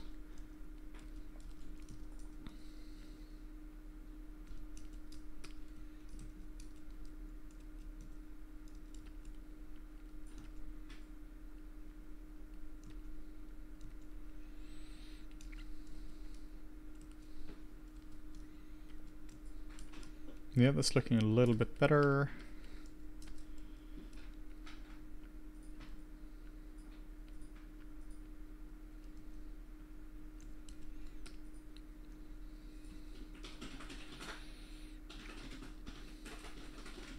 And yeah, just uh, just a reminder that um, everything is 50% off on uh, FlippedNormals, and you guys can see that down here. I'm not sure exactly which way my hand is pointing. I can't see myself on camera. Uh, but at least make sure that everything is, uh, check out uh, our website. Everything is 50% off. So we have really cool tools like uh, let me show you one that I really like. This one, Introduction to, sorry, Switching to Blender for Experienced Artists. This is a really, really solid course for people who want to switch to Blender. One of the problems you have if you're switching to Blender is that, at least if you use 3D beforehand, is that they're just beginner tutorials. All of them are just beginner tutorials, and which is while that's great if you're a beginner, if you already know how to model something well and you know how to render something, you know how to work with 3D, you just want somebody to tell you where they are. For instance, here, like, okay, this is UDIMs. This is where you find the UDIM tools. There's no reason to explain the concept behind UDIMs. Oh, this is how you read topology or something. You don't have to explain the concept behind edge flow and such. So if you're interested in uh, switching to Blender, I highly recommend this one. This is one we made specifically for, basically for past Henning and Morten because switching to Blender was highly frustrating. So uh, I highly recommend uh, highly recommended tool if you are interested in switching to it. Blender is a fantastic tool. Like it's it's really added a lot to my workflow. I particularly really like the rendering there. It's not as powerful in terms of like pure like features as something like Arnold, but it's really really fast to work with. It's very interactive, and it's so much more iterative than what you can do in um, in Maya. Like Maya is Maya is a case where you can you know you can render stuff in Arnold and such, but it's so fast to do locative changes in uh, in Blender. So I really like it for that. Particularly for the work I'm doing now, like doing characters like this is is an absolute treat to do in Blender. Would you say it will be a must to learn Blender? No, absolutely not. Uh, we just it depends just entirely what industry you're in and uh, where it goes in the future. We don't know where Blender is going in the future. We don't know what's going to be the dominant tool in five years. It's hard to say. It's the same thing as it's not a must to learn Maya today, even though Maya is probably one of the most industry standard tools. Plenty of 3D artists never use Maya. They might be uh, working in a company that only uses Max or only use Houdini or like anything else. Is Max used at all now? Yeah, Max is used a lot still. In Archviz, for instance, is used uh, used a lot. Uh, generally, Max is, is still a, still a pretty popular tool. It's a very solid tool as well. I used it not too long ago and um, still really like using Max. I know a lot of people don't like using Max, but personally, I, I think Max is a great tool. Like the modifier stack is incredibly powerful. I find the modifier stack to be much more powerful in Max than it is in Blender.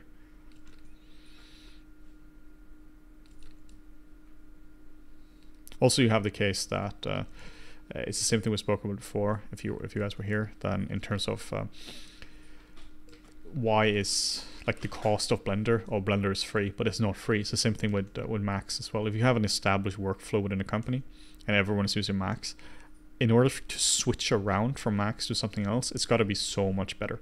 Like you're not just talking like a little bit better. You can't. It can't be like one like ten percent better. It's got to be significantly better.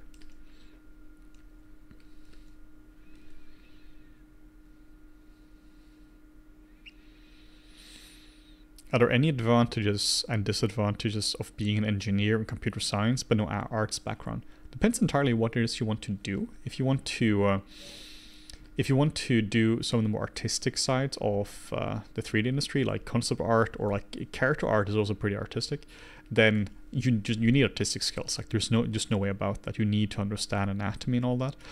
But in general, in the creative industry, there are so many jobs for people with a computer science background. Like the, the amount of programming needed. Like, I mean, I'm using software now for everything. People have to do that. People have to build scripts as well.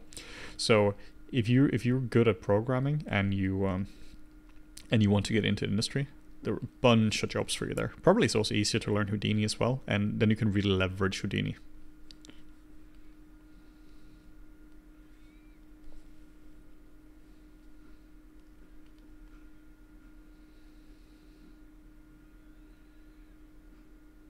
Do you prefer modifiers in Blender or tools in Maya in terms of non-destructive workflows? Oh, definitely Blender. I think the I think the modifier stack in um, in Blender is much better than than how it works in uh, in Maya. Maya is powerful for sure. Maya is node based, so you can do a lot of really cool, interesting things with the uh, modifiers or with the deformers and such there. But from like a day to day, I, I definitely prefer the, how it works in Blender. Though I prefer how it works in Max even more than that. But that might just be personal preference been a while since I was like proper hardcore Max user. One of the cool things in Max is you can have like edit polygon modifiers. Basically, you can use do like all sorts of like polygonal modeling as essentially as layers. So you can just like test it out. You can you can just select a polygon, extrude it out. You can do all sorts of cool stuff with it, and then you can just like delete it later on. So for iterations, it's really really useful. Maya is huge with a sweep mesh they added. Yeah, we just did a video I don't know, a year ago or something on Sweep Mesh. Sweep Mesh is, is a really, really powerful tool. If you're using any kind of curves or something like that, Sweep Mesh is probably coolest curve tool I've ever used. Blender is really cool for curves uh, as well because you can do like you can twist the curve and you can add a radius to the curve, but not like globally You can add a specific radius to a specific point, which is brilliant. But Sweep Mesh is, is just like overall the coolest tool I've ever used when it comes to uh, when it comes to curves the amount of uh, power you have on that tool is, is bonkers. What I'm trying to do here as well is I'm trying to give him lips. So like lips wrapping around it. So we have here, we have like lips wrapping around here. I'm trying to make sure that it feels like the skin is compressing a little bit here. So I need to do that a little bit more on the bottom here as well.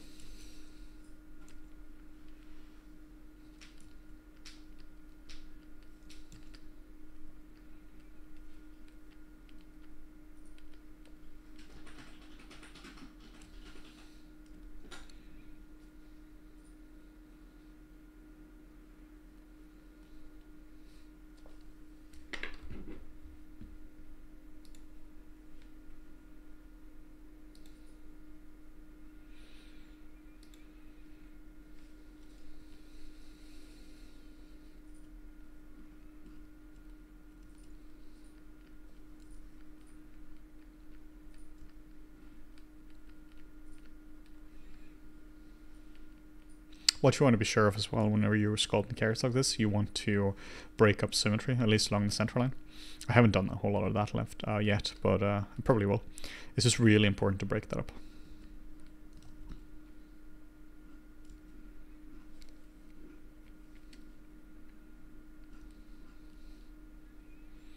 One thing I always struggle with is losing details as a subdivide up.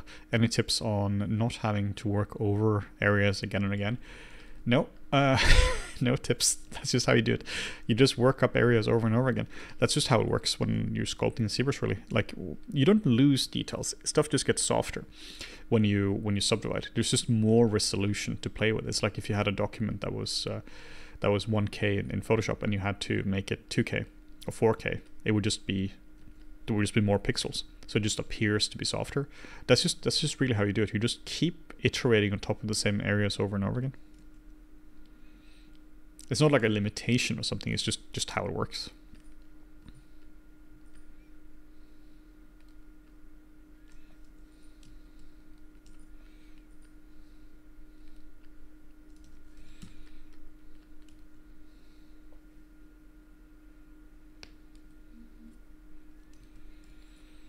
How does one get a scholarship at a 3D university or college? I'm going to A levels and I want to go to a 3D uni and I got zero ideas on the progress. Uh, I've absolutely no idea. Uh, never got any scholarships in my life. Good question though. Uh, not aware if I haven't really heard of anyone who got scholarships. I guess since you're talking about uh, uh, about doing A levels that you're in the UK, not really heard about anyone. I'm currently in the UK as well now. Not heard by anyone in the UK who's been really given scholarships to study 3D.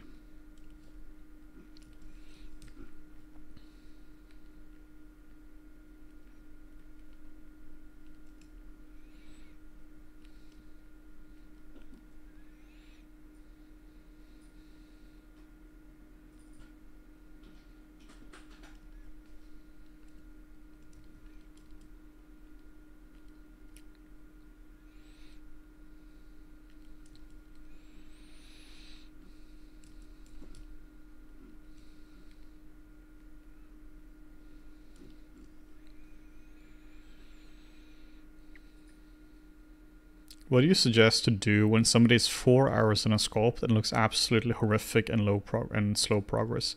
Very mentally challenging. Yeah, kind of kind of two ways here. Either you're in what's called the Valley of the Suck. I think that was something Ryan Kingslien came up with. Basically, you have a point where it might look good in the beginning, and you know this maybe this stage here of the character where it's like it's starting to to get there, and then you might subdivide it, and you and you might just be in a in a slump where it just goes down. Your visual perception just goes down. There's always an area where it just starts to look like crap, and then you just have to go from here. Now the question is, are you down here and it just and it will get better, or is the model just not good enough? That that sometimes happens as well, where you just forgot some key areas. You forgot to look for reference. You forgot to add the uh, you forgot to add like the bones and the anatomy is wrong and all that. Then in that case, then revisit it. I go back, make sure to look at the anatomy, look at the bones, make sure everything is correct. And sometimes you just got to give it up. That's just the unfortunate truth. Sometimes the work is just it's just bad. Like that that's my experience. Maybe it's different for other people, but you just gotta just gotta scuttle that model and just start over again. Uh, there are times where I've been trying for a long time to, to fix something and it's everything should in theory be fixable, but from a practical point of view, it's just just not gonna work. So yeah, sometimes the easiest way is just like just to get rid of it. You have a, you have a fallacy called sunken cost fallacy. It basically just means that you're spending a lot of time on something, so you just have to keep spending more time on it. Well, you know, you already spent four hours, you might as well just see it through. No, you already wasted four hours. If it's if, if it's never going to work, then you might as well just stop right now and then uh, and then just just start something else. But yeah, it depends from scope to scope. Impossible to really say that without knowing your skill level, knowing your knowing um, the sculpt itself. Because this happens to everyone as well. Like uh, no matter how good the person I'm talking to is, everyone is like, "Yep, some point in the sculpt just feel like crap." I still do that whenever I'm sculpting, like where you're just like severely doubting your own skills. that is very demoralizing. What is the tray right and tray left and 0x? That is an excellent question. I have absolutely no idea. So let's let you know what's going on, why they're here.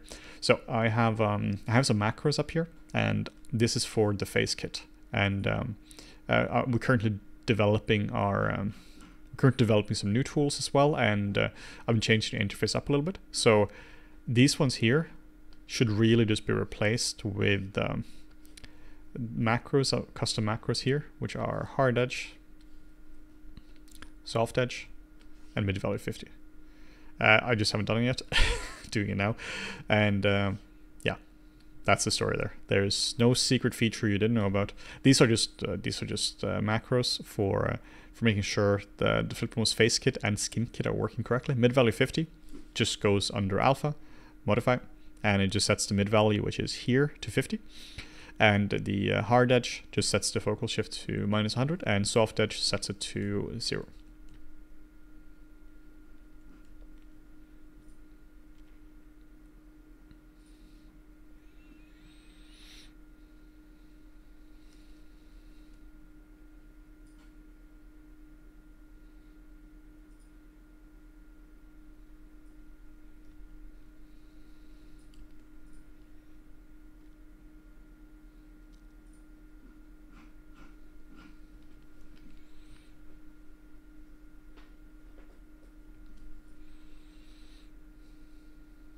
Alright, we're almost getting to the point where this guy here can be uh, can be uh, smoother a little bit or turn into a um,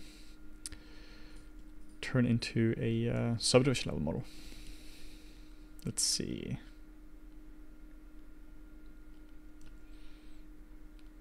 Just want to refine it a little bit more. Why do you need a different focal shift for hard edge? Basically, let me show you what's going on. So if I have the standard brush and I were to load in something like, uh, we have the face kit young, this one here. Let's say we should load something from the skin kit here. So I have this guy here. Hi for yeah, this one here, elephant skin. This one's pretty cool. So let's say I'm, I'm doing this and I want to uh, to drag it out like so. There are a few issues with this. The first one is that you can't actually see it here, but the whole thing is just like increasing elevation. You don't want that. So then you have to set mid value, and now you can see it doesn't change elevation. So now you have the, these details here. Just gonna subdivide real quick so you can see it. So now you have these details, but you can see it's now blending. You see the, the edges are soft. If I set this to hard edge, then it's gonna look like this. So the soft edge is going to look like this. So this, for instance, is, is nice if you want to like blend them together like this. Uh, but the soft edge is, or the hard edge is really good if you want to, uh, if you have like a specific shape here and you don't want to like just work it in like so.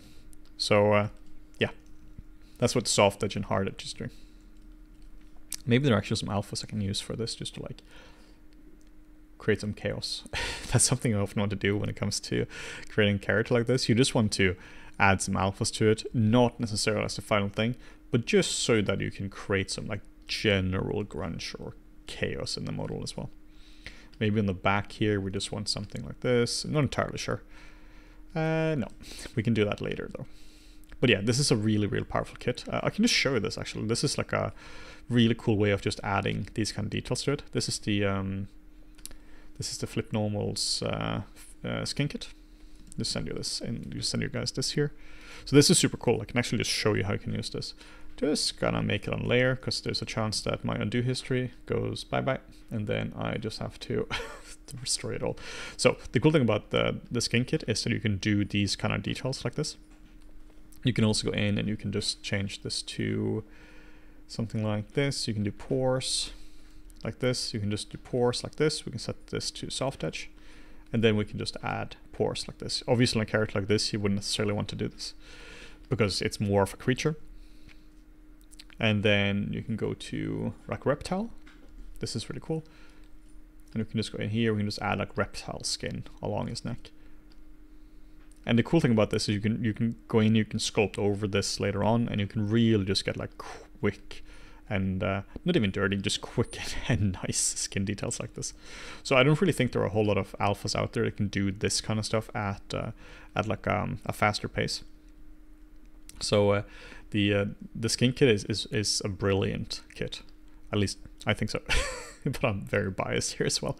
So it means how you can see how quickly you can actually get coverage here. You can also go in here and we can try some of the other ones. This is like rhino skin, really cool as well. So we can go in here, we can do this, and now you can just see you get this like nice, cool rhino skin here. Of course, don't do this until the skin, the sculpt is properly working. But yeah, you get coverage all the way like this.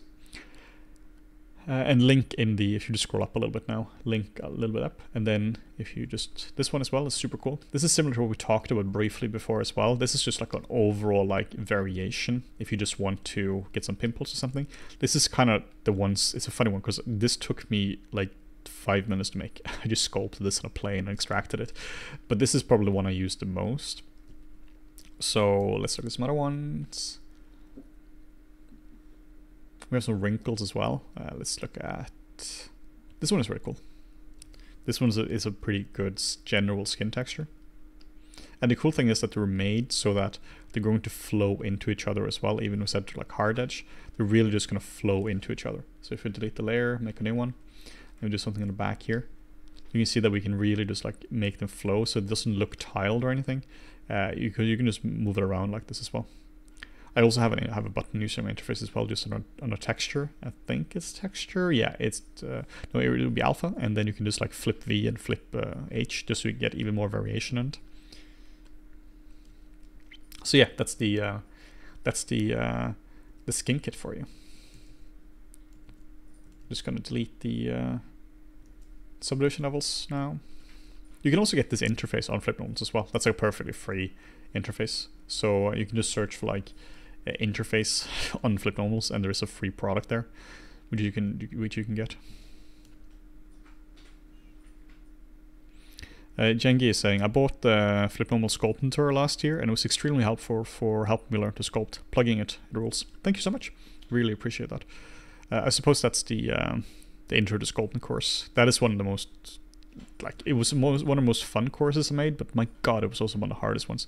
It's basically at that point I've been sculpting this since 2006 now, like June 2006 I think, and trying to get all all of that, all the knowledge from those years into a course, also all the bad habits, all the good habits, and trying to simplify all those concepts into a course, that is really hard. If it comes to just like, oh, this is how you this is how you model a specific thing that's more straightforward because there is well this is just how you model that thing. But if you if it comes to teaching some deep fundamentals man that's hard.